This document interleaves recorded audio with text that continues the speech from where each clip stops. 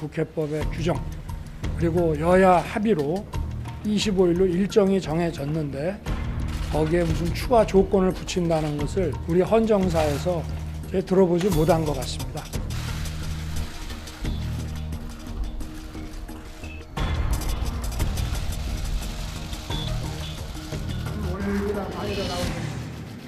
주말 잘 쉬셨습니까?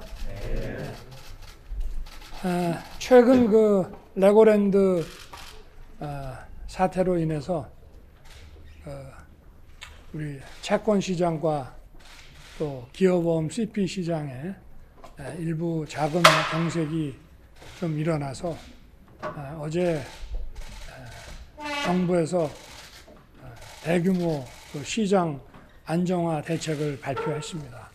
오늘 아침 보도가 전부 나왔기 때문에 잘 알고 계시리라 믿고 에, 이런 그 신속한 그 대규모 시장 안정화 조치는 에, 무엇보다 아, 중소기업의 자금난을 해소하는데 에, 큰 도움이 될 것이라고 에, 판단해서 에, 신속하게 에, 오늘부터 에, 집행에 들어갈 것입니다.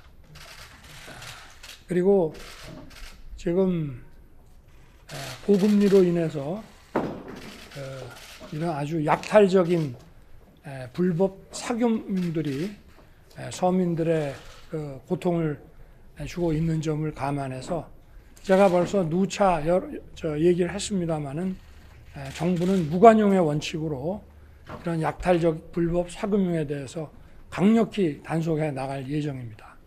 그리고 에, 어려운 분들이 에, 채무 불이행에 빠지더라도 에, 건강한 경제 주체로 아, 회복할 수 있도록 에, 필요한 지원은 이미 아, 말씀드린 대로 아, 계속 해 나갈 아, 생각입니다.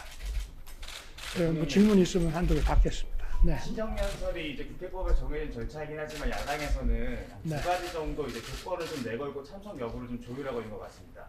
어, 네. 야당에서 다수 야당에서 시정에서 참석을 놓고 조건을 내건 상황에 대해서 좀 어떻게 평가하시는지 궁금하고요. 야당 참석 여부와 상관없이 시정연설 진행하시는 건지도 궁금합니다.